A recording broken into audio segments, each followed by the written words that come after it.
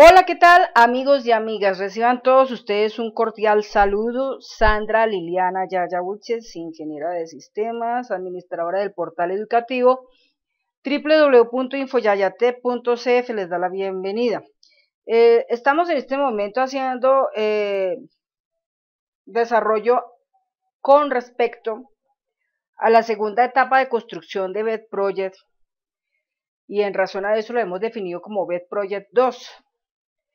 Estamos dentro del segundo ciclo formativo de Microsoft Access eh, y vamos a estar eh, trabajando ahorita en este momento en lo que son los ajustes para la parte del módulo de usuarios en las cosas que están faltando dentro de esa aplicación que por esa razón es que se está haciendo esto. Bueno quiero anotar que en los anteriores videos yo les entregué a ustedes material para que a partir de él, conjuntamente conmigo, cuando están mirando los videos, lo puedan desarrollar.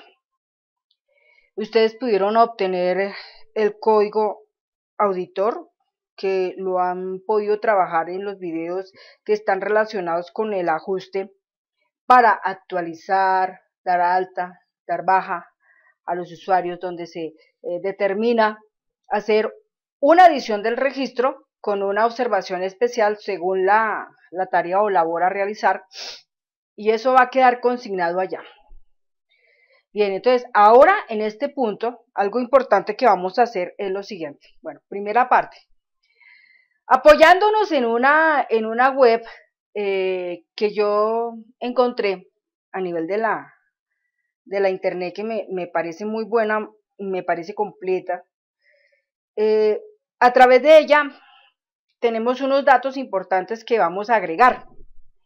Y esta información que vamos a agregar la vamos a incorporar en nuestro módulo que está, eh, está eh, presente en el, en el Project. Entonces, este título para este video, el título para este video es BED Project 2 009 este es el AJ07 del MU, o sea, módulo usuario. Y estamos hablando de los ajustes. Entonces sean bienvenidos y empecemos. Bueno, lo primero que vamos a realizar es cargar nuestro BED Project. Y una vez cargándolo, entonces lo que vamos a conocer inmediatamente acá es la forma como vamos a incorporar algunos valores fijos que en el momento en que empecemos a trabajar la parte laboral, los vamos a estar utilizando. Es una información importante que rige para todo este año 2017. Así que de esta manera, cada vez que usted necesite hacer un cambio, no tiene que ponerse a cambiar valores en los programas ni nada de eso, en los formularios respectivamente, ¿no es cierto? Que eso sería una cosa que se haría cuando no existe otra forma de hacerlo. Pero como aquí ya tenemos presente cómo lo vamos a realizar, esta parte obviamente es mucho lo que nos va a ayudar, ¿de acuerdo? Mucho lo que nos va a ayudar. Entonces, eh, sería así. Bueno, la primera cosa es que este, esta ventana que está presente, bienvenido al sistema, vamos a hacerle un clic derecho y la vamos a cerrar temporalmente. Inmediatamente vamos a proceder a llamar a el módulo que tiene en este momento presente todas las variables públicas y algunas funciones públicas y constantes públicas. Entonces, eso podemos escribirlo así netamente en el panel de navegación a través de la barrita de filtros o de buscar y escribimos PV, que significa pública, ¿no? Entonces, como observamos, ya aparece allí nuestro módulo mol pub public BIC, que es el que hemos estado usando todo el tiempo en el B Project y lo vamos a cargar con un enter. Una vez dentro, entonces tenemos acá definidos unos valores ya establecidos. Bueno, entonces tenemos lo siguiente, tenemos acá, en cuanto a este eh, primer concepto que dice eh, constante, apellido, tal cosa, ¿no? Entonces, eh, es una constante pública bajo el tipo dato string. Conserva una leyenda, una frase que igualmente se usa en algunos formularios. En la medida en que vayamos avanzando y topemos los formularios que tienen agregado ese apellido, pues simplemente lo vamos a reemplazar por la función pública título PI. Eh, igualmente, recordemos que las ventanas la mayoría van a tener una función pública que se llama título BT, que dice BT Project, ¿no? Entonces, en la medida en que vayamos avanzando y topemos estos formularios, hacemos respectivamente esos cambios. Bueno, tenemos aquí la constante que se llama impuesto IVA con el término 0.19 porque el impuesto del IVA sigue vigente, o sea, sigue el mismo valor, 0.19. Pero en el mismo marco, dentro de la ley de financiamiento que está presente o rigiendo en Colombia, tenga algún cambio en cuanto al IVA, inmediatamente procedemos a venir a nuestra aplicación y lo hacemos, hacemos la respectiva corrección. Tenemos una siguiente constante que se llama Public Constant SMLB 18 as long y es el valor 781.242. Ese era el sueldo mensual que correspondía al año 2018. Pero en el año 2019, entonces sencillamente lo que vamos a hacer es lo siguiente. Eh, vamos a seguir dejando el nombre como SMLB18, ¿sí? O también podemos em, definirla como, no como 2018, sino definirla como el, eh, un PB, ¿sí? O un PC, PC, un PC, SMLB y sin el 18.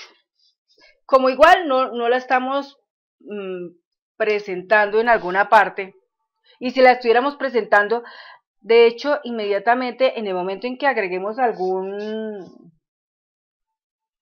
entremos en alguno de esos formularios y este esté llamando esa variable, pues inmediatamente votará un resultado, votará un mensaje, ¿de acuerdo? Votará un mensaje. Aun cuando también está lo siguiente, podríamos dejarlo así como está, presente, vengamos a hacerle aquí un control Z, Z, Z, Z, Z, control Z, ahí dejarlo así, pero entonces aquí simplemente pues agregar uno nuevo, ¿no? También public para no cambiar lo que ya está presente, conste, eh, entonces ahí le ponemos el PC, eh, que significa constante pública, SMLB, as, y le ponemos long. Donde long es un tipo de dato numérico y obviamente es grande, es amplio. Entonces le decimos igual, pero ¿qué valor es el que vamos a acomodar ahí? Bien, yo aquí en mi ordenador tengo una web que tiene que ver con eh, todo lo relacionado al salario mínimo Colombia, salario mínimo colombia.net y ahí está presente todos los datos correspondientes al salario mínimo colombia.net. Entonces acá dice salario mínimo mensual 2019 en Colombia dice 828.116, al cual se le estableció un 6%, siendo un valor de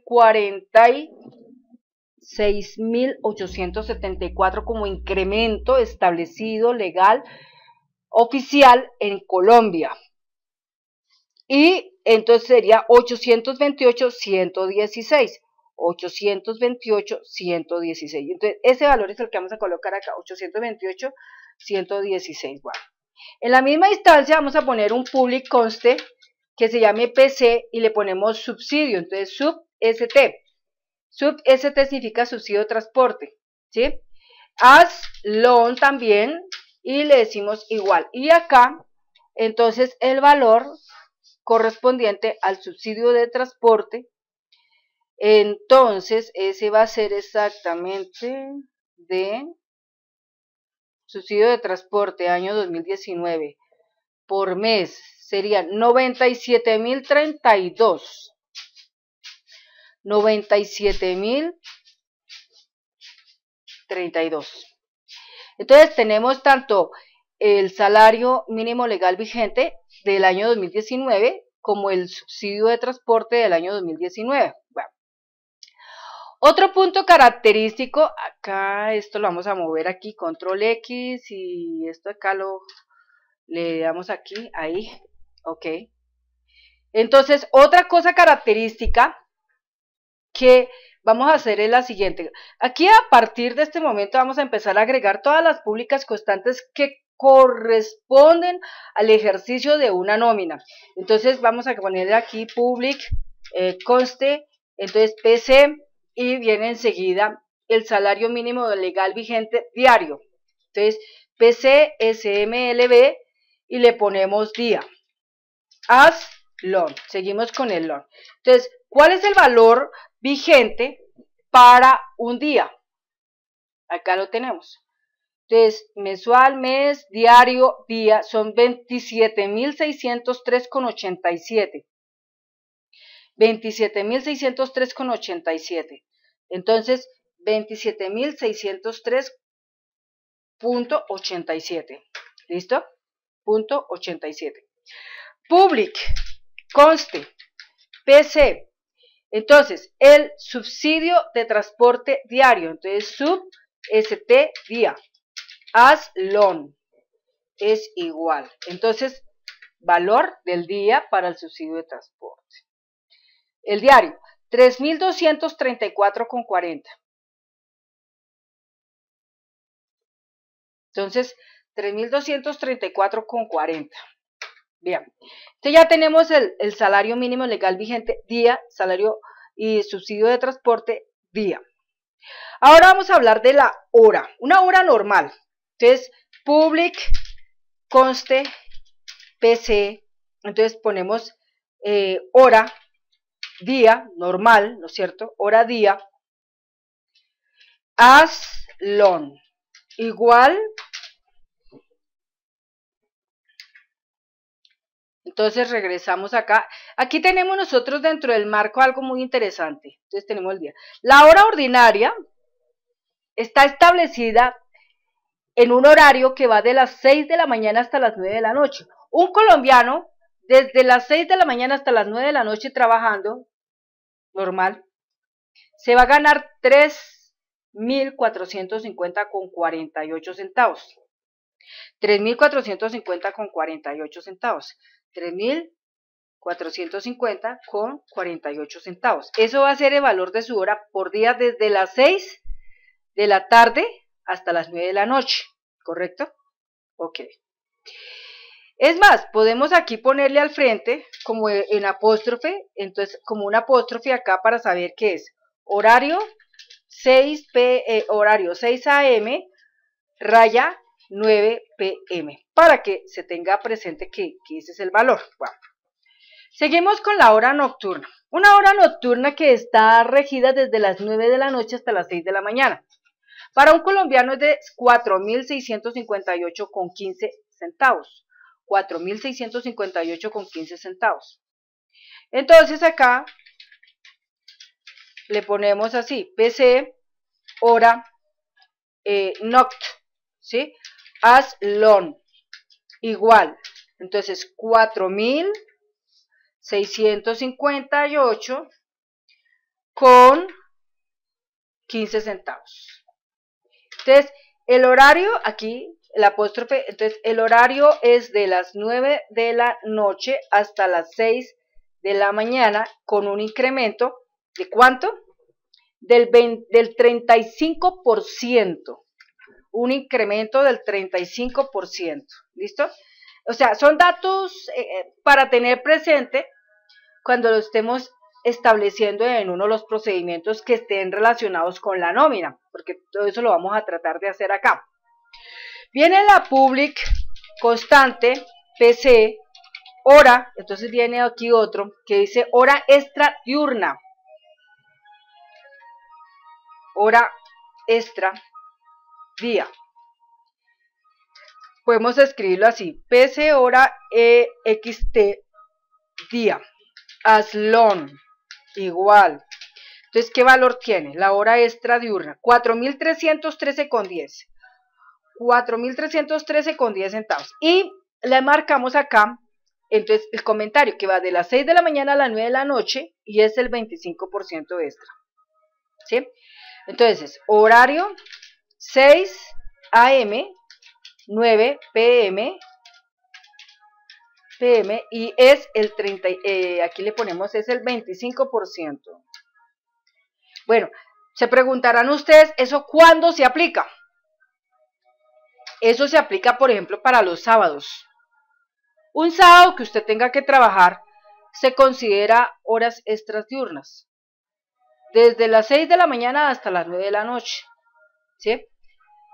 Entonces, ahí está. Pero esto siempre va a ser así, siempre y cuando la persona que labore está haciéndolo entre semanas dentro de las 6 de la mañana hasta las 9 de la noche.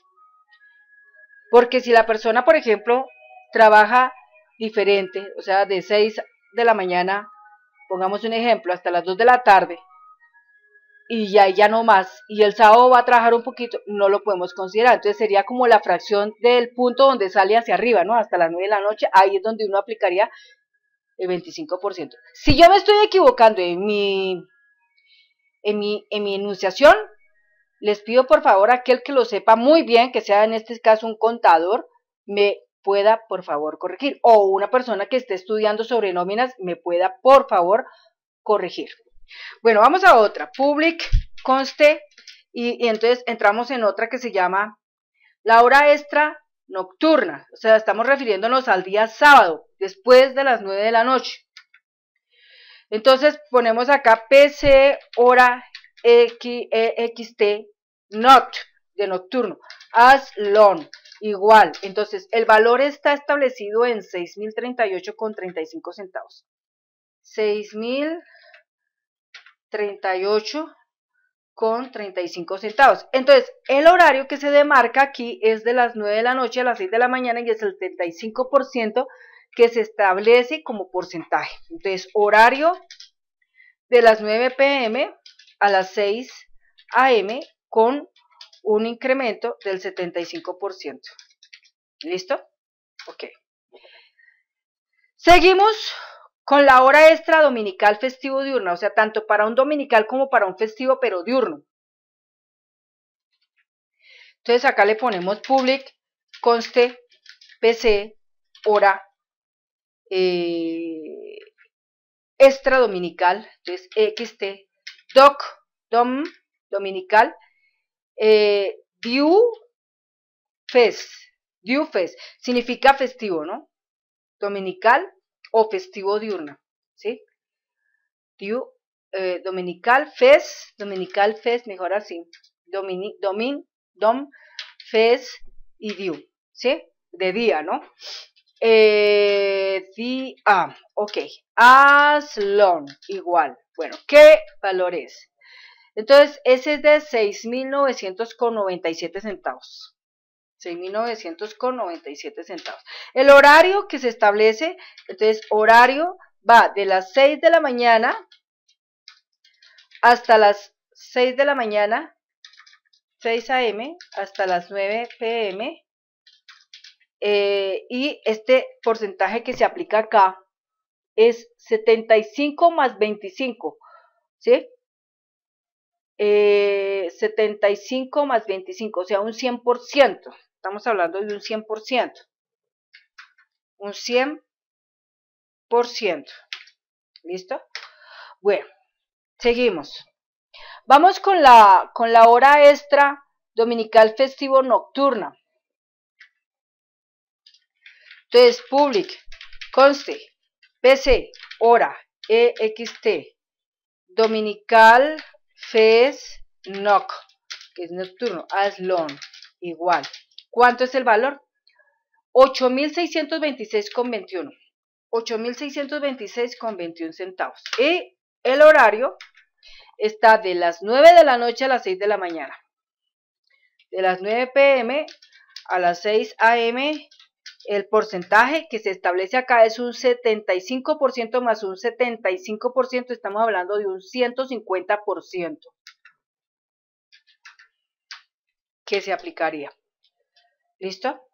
Entonces, allá tenemos esa parte regida. Bueno, otro punto importante que tenemos que anotar acá es que, por ejemplo, si nosotros tenemos un salario mínimo integral por año, entonces el salario mínimo integral por año, entonces vamos a poner aquí, por ejemplo, public eh, conste es igual a PC, salario mínimo integral por año, o sea, por, por año, o sea, entonces X y vamos a ponerle year ahí para saber que es por año.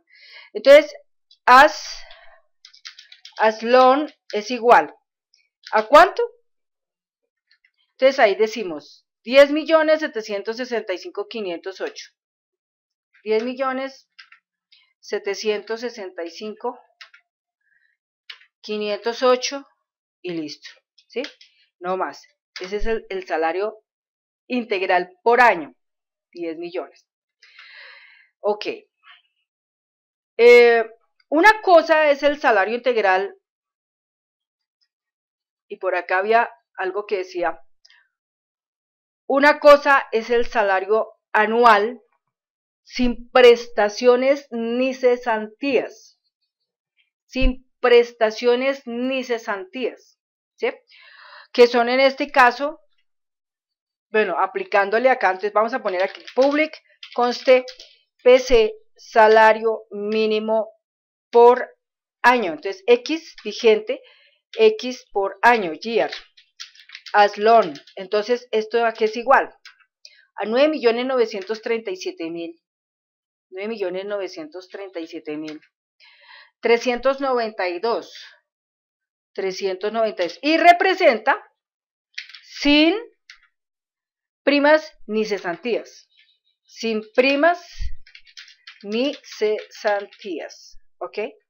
O sea que si le sumamos las primas, eh, eh, entonces la suma de, esos 9 millones tanto, más, digámosle, eh, un salario completo, más dos salarios prácticamente, más dos salarios. Entonces eso nos daría casi los 10 millones algo.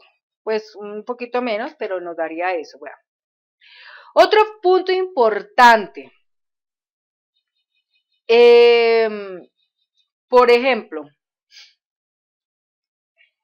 algo que normalmente en una nómina siempre se va a hacer es los aportes a seguridad social mínimos para el año 2019. Entonces, muchas veces las personas tienen que tener presente que cuando se trata del empleado en cuanto a la salud, estará aportando un 4% sobre un salario mínimo, que son 33.124,64. Y en cuanto a la pensión, también el mismo valor porque es el mismo 4%. El empleador estará asumiendo un 8.5%, tanto para la salud y para la pensión un 12%. Entonces, eso es importante, ¿no? Un independiente, entonces, tendrá tanto valor que es el equivalente al 12.5, ¿sí? En salud, y en cuanto a la pensión será un 16%. Entonces, eso también lo vamos a anotar, ¿de acuerdo? Entonces, decimos aquí así. Eh, vamos a anotar aquí public conste, entonces PC. Entonces, es un aporte, entonces es una P. Es para el empleado, ¿no? Entonces, MPV, que significa empleado. Y eh, vamos a decirle la salud. Entonces, as long es igual a cuánto? 33.124,64. Punto con 64. Y hacemos una anotación que es aporte del 4% sobre un salario mínimo legal vigente. ¿Listo? Vamos para public conste PC, AP, EMP, y no es empleado sino empleador, entonces la R, y vamos para la salud, as, igual, entonces para el empleador en cuanto a la salud serían 70.389, 70.389.86, y esto sería un equivalente del 8.5%, entonces aquí le ponemos aporte del 8.5%, ¿sí? Eh, sobre un salario mínimo legal vigente. Ok. Public, conste, PC, AP, eh, INDE, independiente, ¿no? Salud, AS, loan, igual. Entonces, para un independiente, estamos hablando de 103.514,50. Entonces, es un aporte del 12.5% sobre un salario mínimo legal vigente. ¿sí? Ahora, vamos al public conste y vamos a decirle PCAP, eh, entonces es el aporte de la pensión, entonces ponemos aquí EMPD, entonces pensión, aslon igual. Entonces, en la pensión, el empleado aporta 33.124,64. Entonces, es un aporte del 4%,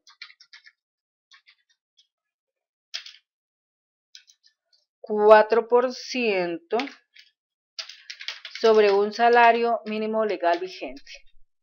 Public, conste, PC, AP, EMP, no D sino la R, eh, pensión, ASLON, o sea, lo que aporta el empleador, ¿cuánto es? Entonces el empleador va a aportar 99.373,92. 93.373 con 92. Punto 92. Entonces, ese es el aporte que va a dar el empleador. Entonces, aporte del, ¿cuánto es el por ciento? 12%. Entonces, 12% sobre un salario mínimo legal vigente. Public conste PC, AP, eh, ya, no sería ya no sería empleador, sino sería independiente, ¿no? Entonces, INDE, y le ponemos pensión. ASLON igual entonces, ¿cuánto es el, el aporte de un trabajador independiente en función a la pensión? 132.498. 132.498 con 56 centavos. Punto 56 centavos. Entonces, ese es el, el aporte. ¿De cuánto es el por ciento? 16%. 16% sobre un salario mínimo legal vigente. ¿Listo? Bueno, entonces ya contamos con esos datos y pienso que ya con eso pues es suficiente. Ya la razón está en cuanto a la tabla de múltiplos, o sea, a nivel mensual. Entonces, un salario mínimo eh, legales de 828.116, dos salarios son un millón tanto, ¿no es cierto? Podríamos establecerlo como, digamos, una manera de poder establecer eh, mejores los cálculos, ¿no? En función a esta parte. Entonces, em, por ejemplo, aquí digamos, habitualmente, ¿sí? Habitualmente, em, con respecto a los salarios, si, una, si digamos es un, es un profesional, vamos a pensar, un profesional, entonces un profesional está definido para ganarse de los dos salarios para arriba, ¿sí? Y por ejemplo, si es un gerente, pues digámosle que unos 10 salarios fuera lo que se pudiera alcanzar a ganar. Más allá de eso, 15 o 20 o 40, ya no estamos hablando de eso, sino estamos hablando ya en función del Estado y eso, si se dé el caso. Ahora, si estamos hablando de un, de un empleado que tiene particularmente una profesión muy especial, pero no, no estará trabajando así, eh, como le digo yo, permanente. Pero quisiéramos pues ayudarlo a alcanzar, digamos, una tarifa especial, ¿no es cierto? Entonces la tenemos ahí presente. Sin embargo, para estos casos, pues yo voy a dejar referida esta web que está acá, la voy a dejar referida para que ustedes eh, puedan a ella llegar y pues consultar esta parte, no más así. Pero lo más importante dentro de nuestro módulo es que tenga la consignación de todos estos valores, que se sepa que pues lo que vamos a trabajar en cuanto a la nómina pues van a ser estos valores, ¿no? Ok. Entonces, eh, así quedaría expuesta esa parte. Bueno. Yo pienso que hasta acá pues lo más importante sería eso. Bien, amigos y amigas, entonces, una vez que ya tenemos definido esta parte, entonces cerramos acá, grabamos y aquí cerramos y dejamos este video hasta ahí, donde llegamos, y quedamos en que se levanta la, la invitación para el próximo video, en el cual empezamos a trabajar la fabricación del listado de los usuarios tomando presente lo siguiente, que el, usuario se pueda, eh, digamos, hacer un listado, imprimir, por ejemplo, un reporte eh, tomando en cuenta la actualización, otro reporte tomando en cuenta los de alta, otro tomando en cuenta los de baja, otro tomando en cuenta eh, el tiempo de ingreso del usuario de tal periodo a tal periodo. ¿Listo?